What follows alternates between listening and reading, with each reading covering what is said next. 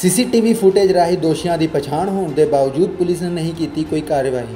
9 ਮਹੀਨੇ ਬੀਤਣ ਦੇ ਬਾਵਜੂਦ ਪੀੜਿਤ ਪਰਿਵਾਰ ਪੁਲਿਸ ਦੇ ਤਰਲੇ ਲੈਣ ਲਈ ਮਜਬੂਰ। ਮਾਮਲਾ ਅੰਮ੍ਰਿਤਸਰ ਦੇ ਸੁਲਤਾਨ ਪਿੰਡ ਰੋਡ ਦਾ ਸ਼ਹੀਦ ਉਦਮ ਸਿੰਘ ਨਗਰ ਇਲਾਕੇ ਦਾ ਹੈ, ਜਿੱਥੇ ਇੱਕ ਪਰਿਵਾਰ ਦੇ ਵਿੱਚ ਕੁਝ ਹਥਿਆਰਬੰਦ ਨੌਜਵਾਨਾਂ ਵੱਲੋਂ ਹਮਲਾ ਕੀਤਾ ਗਿਆ ਸੀ। ਤਸਵੀਰਾਂ ਸੀਸੀਟੀਵੀ ਵਿੱਚ ਕੈਦ ਜ਼ਰੂਰ ਹੋਈਆਂ, ਪਰ ਪੀੜਤਾਂ ਨੂੰ ਠੋਸ ਸੀਸੀਟੀਵੀ ਫੁਟੇਜ ਦਾ ਕੋਈ ਖਾਸ ਫਾਇਦਾ ਹੁੰਦਾ ਨਜ਼ਰ ਨਹੀਂ ਆਇਆ। ਕਿਉਂਕਿ ਪੀੜਤ ਪਰਿਵਾਰ ਦਾ ਇਲਜ਼ਾਮ ਹੈ ਕਿ ਪੁਲਿਸ ਪ੍ਰਸ਼ਾਸਨ ਨੇ ਸੀਸੀਟੀਵੀ ਦੇ ਆਧਾਰ ਤੇ ਨੌਜਵਾਨ ਪਹਿਚਾਣੇ ਜਾ ਰਹੇ ਹਨ। ਪਰ ਜਾਂਚ ਅਤੇ ਕਾਰਵਾਈ ਨਿਰਪੱਖ ਰੂਪ 'ਚ ਨਹੀਂ ਕੀਤੀ ਅਤੇ ਉਹਨਾਂ ਦੇ ਪਰਿਵਾਰ ਮੈਂਬਰ ਨੂੰ ਵੀ ਸਜ਼ਾ ਭੁਗਤਣੀ ਪਈ। ਆਖਿਰਕਾਰ 9 ਮਹੀਨੇ ਬਾਅਦ ਹੁਣ ਪੀੜਿਤ ਪਰਿਵਾਰ ਨੇ ਪੀੜੀਆ 'ਚ ਇਹ ਮਾਮਲਾ ਲਿਆਂਦਾ ਹੈ ਅਤੇ ਅੱਜ ਪ੍ਰੈਸ ਵਾਰਤਾ ਕਰਕੇ ਇਨਸਾਫ ਦੀ ਗੁਹਾਰ ਲਗਾਈ ਹੈ। ਪੀੜਿਤ ਅਮਨ ਚਹਿਲ ਸਿੰਘ ਨੇ ਦੱਸਿਆ ਕਿ ਦਿਸ਼ਾ ਨਾਮ ਦੇ ਵਿਅਕਤੀ ਵੱਲੋਂ ਜਦੋਂ ਉਸ ਦੇ ਘਰ ਦੇ ਵਿੱਚ ਹਮਲਾ ਕੀਤਾ ਗਿਆ ਤਾਂ ਉਹਨਾਂ ਵੱਲੋਂ ਗੋਲੀਆਂ ਚਲਾਈਆਂ ਗਈਆਂ। ਹਵਾ ਵਿੱਚ ਫਾਇਰਿੰਗ ਕੀਤੀ। ਹੁਣ ਕਿਸ ਦੀ ਬੰਦੂਕ ਦੀ ਗੋਲੀ ਵਿਅਕਤੀ ਨੂੰ ਲੱਗੀ, ਜਿਸ ਕਾਰਨ ਉਸ ਦੀ ਮੌਤ ਹੋ ਗਈ? ਇਹ ਤਾਂ ਜਾਂਚ ਤੋਂ ਬਾਅਦ, ਕੋਰਟ ਦੇ ਫੈਸਲੇ ਤੋਂ ਬਾਅਦ ਪਤਾ ਚੱਲੇਗਾ। ਪਰ ਮੇਰੇ ਪਰਿਵਾਰ ਦੇ ਚਾਰ ਵਿਅਕਤੀ ਨੂੰ ਸ- ਸਲਾਖਾਂ ਦੇ ਪਿੱਛੇ ਰਹਿਣਾ ਪਿਆ ਅਤੇ ਪਰਿਵਾਰ ਮੈਂਬਰ ਅੱਜ ਵੀ ਜੇਲ੍ਹ ਦੀ ਹਵਾ ਖਾ ਰਹੇ ਨੇ। ਅੰਮ੍ਰਿਤਸਰ ਤੋਂ ਗੁਰਪ੍ਰੀਤ ਸਿੰਘ ਦੀ ਰਿਪੋਰਟ, ਲਾਈਵ ਭਾਰਤ। ਜੀ। ਜੀ ਸਰ ਕੀ ਨਾਮ ਹੈ? ਬਲਵਿੰਦਰ ਸਿੰਘ ਜੀ। ਕੀ ਕਹਿਣਾ ਚਾਹੁੰਦੇ ਜੀ ਅਹ ਜਿਹੜੀ ਪ੍ਰੈਸ ਕਾਨਫਰੰਸ ਕਹਿਣਾ ਚਾਹੁੰਦੇ ਵੀ ਜੋ ਸਾਡੇ ਘਰ ਤੇ ਅਟੈਕ ਕੀਤਾ ਤੇ ਮੈਂ ਥਾਣੇ ਚਲ ਗਿਆ ਉੱਥੇ ਵੀ ਚਲੇ ਅਹ, ਡ- ਗੁਰਵਿੰਦਰ ਸਿੰਘ ਨੂੰ ਜਾ ਕੇ ਕਿਹਾ ਵੀ ਸਾਡੇ ਉੱਥੇ ਗੋਲੀਆਂ ਚੱਲਣੀਆਂ ਤੇ ਤੁਸੀਂ ਛੇਤੀ ਆਓ। ਤੇ ਮੈਨੂੰ ਥਾਣੇ ਪਾਇਆ ਗਿਆ ਉੱਥੇ। ਹੂੰ। ਤੇ ਉਹ ਮੁੜ ਕੇ ਪਤਾ ਨਹੀਂ ਉਹ ਕਦੋਂ ਕਦੋਂ ਆਏ। ਮੈਨੂੰ ਤੇ ਜਦੋਂ ਜਦੋਂ ਗਿਆ ਉਦੋਂ ਹੀ ਉੱਥੇ ਹੀ ਬਿਠਾ ਲਿਆ ਮੈਨੂੰ। ਤੇ ਜੇ ਮੁੜ ਕੇ ਮੇਰੇ ਮਗਰ ਕੋਈ ਸ਼ਾਮਾਂ ਨੂੰ ਜਾਂ ਅਗਲੇ ਦਿਨ ਜਾਂਦਾ ਸੀ ਤੇ ਉਹਨੂੰ ਵੀ ਨਾਲ ਬਿਠਾ ਲੈਂਦੇ ਸੀ। ਤੇ ਜਦੋਂ ਮੈਨੂੰ ਘਰ ਨਾਲ ਲਿਆਂਦਾ ਮੁੜ ਕੇ ਅਗਲੇ ਦੂਜੇ ਤੇ ਦਿਨ ਘਰ ਲਿਆਂਦਾ ਤੇ ਦਿਨ ਮੈਨੂੰ। ਤੇ ਵੈਪਨ ਲੈਣ ਵਾਸਤੇ ਘਰ ਆਏ ਆ। ਤੇ ਇਹ ਪੈਸੇ ਵੀ 1.5 ਲੱਖ ਰੁਪਇਆ ਚੁੱਕ ਕੇ ਲੈ ਗਿਆ ਘਰੋਂ ਦੇ ਇੱਕ ਰਿੰਗ ਸੋਨੇ ਦੀ ਲੈ ਗਿਆ ਚੁੱਕ ਕੇ। ਲਗਾਤਾਰ ਪੈਸੇ ਦੀ ਡਿਮਾਂਡ ਕੀਤੀ ਜਾ ਰਹੀ ਸੀ ਤੁਹਾਨੂੰ ਇਸ ਦਰਮਿਆਨ? ਪੈਸੇ ਜਿਹੜਾ ਮਗਰ ਆਉਂਦਾ ਸੀ ਉਹਨੂੰ ਭਾ ਲੈਂਦੇ ਸੀ। ਸਹੁਰਾ ਸਾਹਿਬ ਮੇਰਾ ਆਇਆ ਸਾਂਢੂ ਸਾਹਿਬ ਆਇਆ ਤੇ ਉਹਨਾਂ ਕੋਲ ਜਿਹੜੇ ਜੇ ਕਿਸੇ ਕੋ 5000 ਆ ਤੇ 5 ਖੋਲਿਆ ਜੇ ਕੋਈ ਕੋ 7 ਆ ਤੇ 7 ਖੋਲਿਆ। ਇਹਨਾਂ ਲੁੱਟ ਖਸੁੱਟ ਪੂਰੀ ਕੀਤੀ ਇਹਨਾਂ ਨੇ। ਕਦੀ ਇਸ ਤਰ੍ਹਾਂ ਦੇ ਦਿਨ ਦੇਖੇ ਸਾਰੀ ਉਮਰ ਨਾ ਇਹ ਤਾਂ ਕਦੇ ਦੇ ਦਿਨ ਅਸੀਂ ਕਦੀ ਥਾਣੇ ਤੱਕ ਨਹੀਂ ਗਏ। ਅਸੀਂ ਤੇ ਜਿਹੜਾ ਸਾਨੂੰ ਆਇਆ ਹੈ 61 ਸਾਲ ਦੀ ਉਮਰ 'ਚ ਇਹਨਾਂ ਜੇਲ੍ਹ ਵਿਖਾਤੀ ਸਾਨੂੰ। 7 ਮਹੀਨਿਆਂ ਨੂੰ ਜੇਲ੍ਹ 'ਚ ਰਹਿਣਾ ਪਿਆ। ਕੀ ਮੰਗ ਕਰਦੇ ਹੋ? ਮੰਗੇ ਪਰੇਸ਼ਾਨ ਕੋਈ ਹੋ ਮੰਗ ਕਰਦੇ ਆ ਵੀ ਇਨਸਾਫ ਹੋਣਾ ਚਾਹੀਦਾ ਜ਼ਿੰਦਗੀ 'ਚ ਕਿਸੇ ਨਾਲ। ਫਾਈ ਕਰ ਲਿਆ ਹੋਇਆ ਸਾਰਿਆਂ ਨੂੰ। ਤੇ ਜਦ ਕਿ ਪੁਲਿਸ ਪ੍ਰਸ਼ਾਸਨ ਵੱਲੋਂ ਬਹੁਤ ਜ਼ਿਆਦਾ ਧੱਕੇਸ਼ਾਹੀ ਹੋਈ ਹੈ। ਉਹਨਾਂ ਦੀ ਅਗੇਂਸਟ ਕੋਈ ਵੀ ਜਿਹੜੀ ਕਾਰਵਾਈ ਉਹ ਨਹੀਂ ਕੀਤੀ ਗਈ। ਸਾਡੇ ਇਨਵੈਸਟੀਗੇਸ਼ਨ ਕਰਕੇ ਸਾਡੇ ਅਗੇਂਸਟ ਜਿਹੜੀ ਪੂਰੀ ਕਾਰਵਾਈ ਕੀਤੀ ਹੈ ਔਰ ਉਹਨਾਂ ਦੇ ਅਗੇਂਸਟ ਕੋਈ ਵੀ ਕਾਰਵਾਈ ਜਿਹੜੀ ਹੈ ਉਹ ਨਹੀਂ ਹੋਈ। ਤੇ ਮੈਨੂੰ ਅੱਜ ਮਜਬੂਰ ਹੁਣ, ਇੱਕ ਹੀ ਸਾਡੇ ਪਰਿਵਾਰ ਕੋਲ ਜਿਹੜਾ ਆ, ਉਹ ਆਸਰਾ ਰਹਿ ਗਿਆ ਸੀ, ਉਹ ਸੀ ਸੋਸ਼ਲ ਮੀਡੀਆ ਤੋਂ, ਸੋ ਇਸ ਲਈ ਮੈਂ ਅੱਜ ਸੋਸ਼ਲ ਮੀਡੀਆ ਦੇ ਸਾਹਮਣੇ ਜਿਹੜਾ ਉਹ ਪੇਸ਼ ਹੋਇਆ ਆ। ਔਰ ਤੁਸੀਂ ਇਹ ਸੀਸੀਟੀਵੀ ਫੁਟੇਜ ਦੇ ਵਿੱਚ ਕਲੀਅਰ ਦੇਖ ਰਹੇ ਹੋ ਕਿਵੇਂ ਜਗਦੀਸ਼ ਸਿੰਘ ਦੀ ਦੀਸ਼ਾ ਪਲੈਨਿੰਗ ਕਰ ਰਿਹਾ, ਆਪਣੇ ਮੁੰਡਿਆਂ ਨੂੰ ਫੋਨ ਕਰਕੇ ਤਿੰਨ ਸਾਡੇ ਘਰ ਤੇ ਜਦੋਂ ਅਟੈਕ ਕਰ ਰਿਹਾ ਤੇ ਮੇਰਾ ਬ੍ਰਦਰ ਉਹਦੇ ਜਿਹੜੇ ਦੋਸਤ ਨੇ ਉਹ ਕਿੱਦਾਂ ਅੰਦਰ ਭੱਜ ਕੇ ਆਪਣੀ ਜਾਨ ਬਚਾ ਰਹੇ ਨੇ। ਇੱਕ ਸਾਡੇ ਸਾਰੇ ਜੀਆਂ ਨੂੰ ਜਿਹੜਾ ਉਹ ਮਾਰ ਦੇਣਗੇ। ਬਾਈ ਚਾਂਸ ਸਾਡਾ ਦਰਵਾਜ਼ਾ ਖੁੱਲਾ ਰਹਿ ਜਾਂਦਾ ਤੇ ਹੋ ਸਕਦਾ ਸਾਡੇ ਘਰ ਵੜ ਕੇ ਤੇ ਸਾਡੇ ਸਾਰੇ ਜੀਆਂ ਨੂੰ ਜਿਹੜਾ ਉਹ ਮੁਕਾ ਦਿੰਦੇ। ਇਸ ਦਰਮਿਆਨ ਮੌਤ ਕਿਹਦੀ ਹੋਈ? ਇਸ ਦਰਮਿਆਨ ਜਗਦੀਸ਼ ਸਿੰਘ ਧੀਸ਼ਾ ਦੀ ਜਿਹੜੀ ਮੌਤ ਹੋਈ ਆ ਉਹਦੇ ਅਗੇਂਸਟ ਵੀ ਜਿਹੜੀ ਕਾਰਵਾਈ ਚੱਲ ਰਹੀ ਉਹ ਚਲੋ ਫੈਸਲਾ ਕਰੇਗਾ। ਗੋਲੀ ਤੁਹਾਡੀ ਪਿਸਟਲ ਤੋਂ ਵੀ ਚੱਲੀ ਸੀ ਉਹ ਕੀ ਹੈ? ਗੋਲੀ ਸਾਡੇ ਪਿਸਟਲ ਤੋਂ ਜਿਹੜੀ ਚੱਲੀ ਆ ਉਹ ਹਵਾਈ ਫਾਇਰ ਮੇਰੇ ਬ੍ਰਦਰ ਨੇ ਜ਼ਰੂਰ ਕੀਤੇ ਨੇ ਠੀਕ ਹੈ? ਉਹ ਆਪਣੇ ਡਿਫੈਂਸ ਨਹੀਂ ਗਏ ਫਿਰ ਉਹਨੂੰ ਮਜਬੂਰਨ ਜਿਹੜਾ ਉਹ ਫਾਇਰ ਕਰਨਾ ਪਿਆ ਕਿ ਇਹ ਭੱਜ ਜਾਣ ਕਿਤੇ ਸਾਡੇ ਪਰਿਵਾਰ ਦਾ ਨੁਕਸਾਨ ਨਾ ਕਰਦੇ ਹੋਇਆ ਔਰ ਅਜੇ ਵੀ ਚਲੋ ਜਗਦੀਸ਼ ਸਿੰਘ ਦੀਸ਼ਾ ਜਿਹੜਾ ਉਹ ਉਹਦੀ ਮੌਤ ਹੋਈ ਜਿਹੜੇ ਬਾਕੀ ਜਿਹੜੇ ਲੋਕ ਨੇ ਉਹਨਾਂ ਦੇ ਉੱਤੇ ਕਾਰਵਾਈ ਪੁਲਿਸ ਪ੍ਰਸ਼ਾਸਨ ਵੱਲੋਂ ਬਿਲਕੁਲ ਨਹੀਂ ਕੀਤੀ ਗਈ। ਇੱਥੇ ਮੈਂ ਜ਼ੋਰ ਦੇ ਕੇ ਇੱਕ ਹੋਰ ਗੱਲ ਕਹਿਣਾ ਚਾਹੂੰਗਾ ਕਿ 15 ਦਿਨ ਬਾਅਦ ਮੇਰੇ ਚਾਚਾ ਜੀ ਦਾ ਬੇਟਾ ਦਿਲਬਾਗ ਸਿੰਘ ਬਾਗਾ ਜਰ ਦਿੱਤਾ ਗਿਆ। ਜਦ ਕਿ ਇਹ ਪ੍ਰੋਪਰ ਫਾਇਰ ਕਰ ਰਹੇ ਨੇ। ਰਾਜਵਿੰਦਰ ਸਿੰਘ ਰਾਜਾ ਬਾਟ, ਮੈਂ ਇੱਥੇ ਨਾਮ ਲੈ ਕੇ ਕਹਿਣਾ ਚਾਹੂੰਗਾ। ਮੋਹਨ ਸਿੰਘ ਮਾੜੀ ਮੇਗਾ ਦਾ ਕੋਈ ਨਿਰਪੱਖ ਤਰੀਕੇ ਨਾਲ ਨਹੀਂ ਕੀਤੀ। ਨਹੀਂ ਕੀਤੀ ਬਿਲਕੁਲ ਨਹੀਂ ਕੀਤੀ। ਪੁਲਿਸ ਅਧਿਕਾਰੀ ਐਸਐਚਓ ਸਾਹਿਬ ਨੇ ਬੀ ਡਿਵੀਜ਼ਨ ਦੇ ਠੀਕ ਹੈ? ਬਾਕੀ ਜਿਹੜੇ ਫੁਟੇਜ ਸਭ ਕੁਝ ਕਲੀਅਰ ਕਰ ਰਿਹਾ।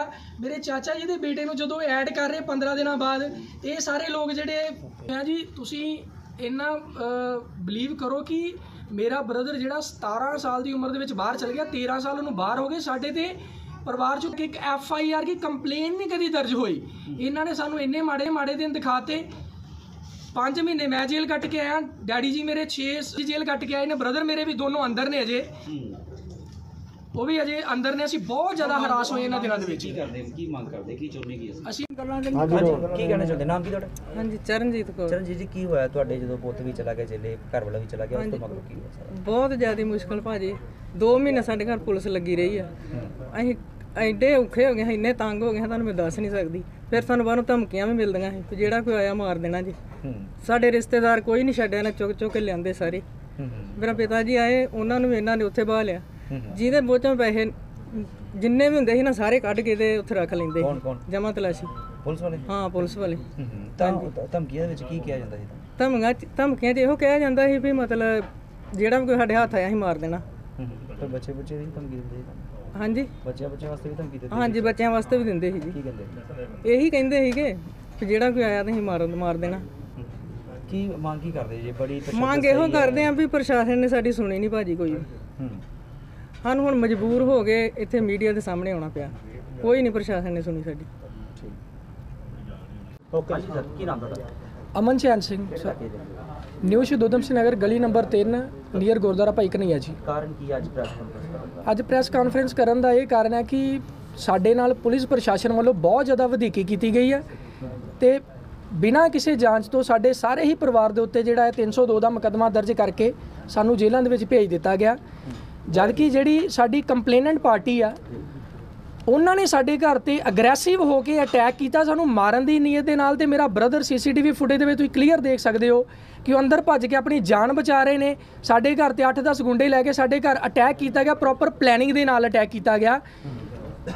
ਤਾਂ ਜਿਸ ਤਰੀਕੇ ਨਾਲ ਹੋਇਆ ਕਤਲ ਕਿਦਾ ਹੋਇਆ ਸੀ ਜਿਹੜੀ ਪੂਰੀ ਗਤੀਵਿਧੀ ਕਿਹੜੇ ਦਿਨ ਤੇ ਕਦੋਂ ਹੋਈ ਸੀ? ਇਹ ਲੋਹੜੀ ਵਾਲੇ ਦਿਨ ਸਰ 13 ਜਨਵਰੀ ਨੂੰ ਸ਼ਾਮ 4:30 ਵਜੇ ਦੇ ਕਰੀਬ ਜਗਦੀਸ਼ ਸਿੰਘ ਦਿਸ਼ਾ ਪ੍ਰੋਪਰ ਪਲੈਨਿੰਗ ਕਰਕੇ ਸਾਡੇ ਘਰ ਗੁੰਡਿਆਂ ਦੇ ਨਾਲ ਅਟੈਕ ਕੀਤਾ ਜਗਦੀਸ਼ ਸਿੰਘ ਜਗਦੀਸ਼ ਦਿਸ਼ਾ ਬਿਲਕੁਲ ਸਾਡੇ ਅਗਲੀ ਗਲੀ ਦੇ ਵਿੱਚ ਹੀ ਰਹਿੰਦਾ ਹੈ ਜੀ।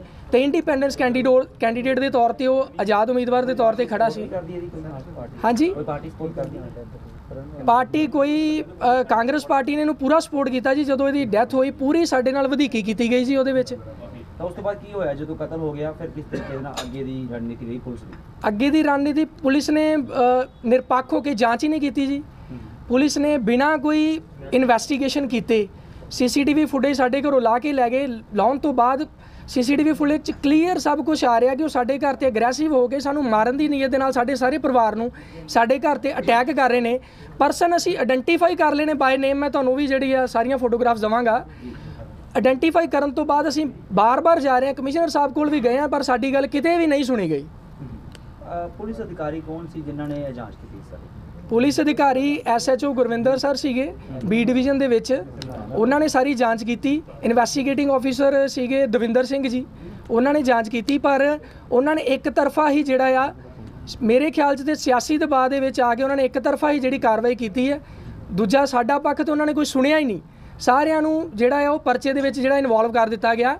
ਤੇ 15 ਦਿਨ ਬਾਅਦ ਮੇਰੇ ਚਾਚਾ ਜੀ ਦਾ ਬੇਟਾ ਇਹ ਕਹਿ ਕੇ ਐਡ ਕਰ ਦਿੱਤਾ ਗਿਆ ਕਿ ਸੀਸੀਟੀਵੀ ਫੁਟੇਜ ਦੇ ਵਿੱਚ ਜਿਹੜਾ ਹੈ ਉਹ ਪੱਥਰ ਮਾਰਦਾ ਨਜ਼ਰ ਆ ਰਿਹਾ। ਜਦ ਕਿ ਇਹ ਵੈਪਨ ਲੈ ਕੇ ਇਲੀਗਲ ਵੈਪਨ ਮੈਂ ਇੱਥੇ ਕਹਿਣਾ ਚਾਹੂੰਗਾ ਰਾਜਵਿੰਦਰ ਸਿੰਘ ਰਾਜਾ ਬਾਠ ਮੈਨੂੰ ਇਹ ਦਿਖਾ ਦੇਣ ਕਿ ਜੇ ਉਹਦਾ ਲਾਇਸੈਂਸ ਬਣਿਆ ਹੈ ਜਿਹੜਾ ਪਿਸਤੌਲ ਦਾ ਤਾਂ ਮੈਂ- ਸਾਨੂੰ ਸ਼ੋਅ ਕਰ ਦੇਣ। 13 ਜਨਵਰੀ ਨੂੰ ਸਾਡੇ ਘਰ ਅਟੈਕ ਹੋਇਆ ਉਹਦਾ ਲਾਇਸੈਂਸ ਸ਼ੋਅ ਕਰਨ ਕਿ ਉਹ ਵਾਕਈ ਲਾਇਸੈਂਸੀ ਰਿਵਾਲਵਰ ਲੈ ਕੇ ਆਇਆ।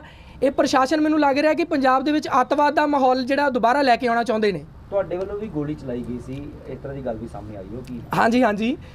ਗੋਲੀ ਚਲਾਈ ਗਈ ਪਰ ਉਹ ਆਪਣੇ ਡਿਫੈਂਸ ਦੇ ਵਿੱਚ ਚਲਾਈ ਗਈ ਜਦੋਂ ਇੱਕ ਘਰ ਤੇ ਅਟੈਕ ਹੋਊਗਾ ਅਗਰੈਸਿਵ ਹੋ ਕੇ ਸਾਡੇ ਘਰ ਉਹ ਅਟੈਕ ਕਰਨ ਆਏ 8-10 ਜਾਣੇ ਲੈ ਕੇ ਤੇਜ਼ਧਾਰ ਹਥਿਆਰ ਦੋ ਵੈਪਨ ਦੇ ਅਸੀਂ ਦੇਖੇ ਕੋਈ ਤੀਜਾ ਲੈ ਕੇ ਆਇਆ ਹੋਵੇ ਮੈਂ ਕਹਿ ਨਹੀਂ ਸਕਦਾ ਕਿਉਂਕਿ ਗੋਲੀਆਂ ਸਾਹਮਣੇ ਉਹ ਚੱਲ ਰਹੀਆਂ ਸੀ ਸਾਡੀ ਇੰਨੀ ਨਹੀਂ ਪਈ ਅੱਗੇ ਦੇਖ ਵੀ ਲਈਏ ਕਿ ਅੱਗੋਂ ਗੋਲੀ ਨਾ ਵੱਜੇ ਪਰ ਇਹ ਸਾਰੇ ਦੇ ਵਿੱਚ ਕਸੂਰਵਾਰ ਕਿਹਨੂੰ ਮੰਨਦੇ ਤੁਸੀਂ ਕਿਉਂਕਿ ਕਤਲ ਹੋ ਗਿਆ ਇੱਕ ਹਾਂਜੀ। ਇੱਕ ਜੀ ਚਲਾ ਗਿਆ ਚਾਹੇ। ਤੁਹਾਡਾ ਚਾਹੇ ਉਹਦਾ ਜਿਹਦਾ ਮਰਜ਼ੀ। ਜੀ ਚਲਾ ਗਿਆ ਵਾ ਉਹਦਾ ਕਸੂਰਵਾਰ ਕਿਹਨੂੰ ਮੰਨਦੇ ਅਸੀਂ ਕਸੂਰਵਾਰ ਇਹਦੇ ਵਿੱਚ ਸਭ ਤੋਂ ਵੱਡੀ ਗਲਤੀ ਦਾ ਜਿਹੜੀ ਆ ਉਹ ਤਾਂ ਸਭ ਤੋਂ ਪਹਿਲਾਂ ਜਗਦੀਸ਼ ਸਿੰਘ ਦੀਸ਼ਾ ਵੱਲੋਂ ਗਲਤੀ ਹੋਈ ਆ। ਠੀਕ ਹੈ ਜੀ? ਜਗਦੀਸ਼ ਸਿੰਘ ਦੀਸ਼ਾ ਵੱਲੋਂ ਗਲਤੀ ਹੋ ਗਈ।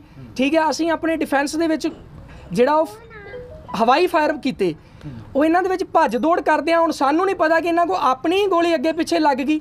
ਅਜੇ ਤਾਂ ਉਹ ਕੋਰਟ ਕਲੀਅਰ ਕਰੇਗਾ ਨਾ ਸਾਨੂੰ। ਕੋਰਟ ਜਿਹੜਾ ਉਹ ਸਾਨੂੰ ਦੋਸ਼ੀ ਕਲੀਅਰ ਕਰੇਗਾ।